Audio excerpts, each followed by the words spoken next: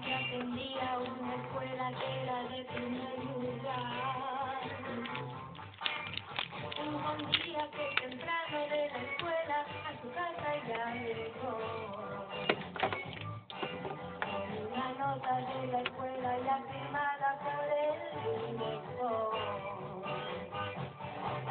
Aquella nota sí decía, oiga señora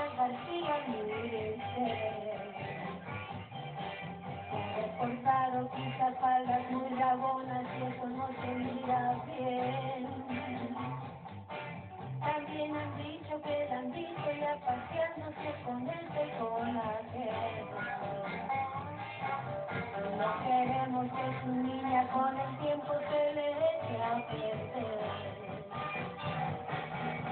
Pues resulta que en la punta de maestros y saltar de principio. Cuando la señora García con su falda muy labor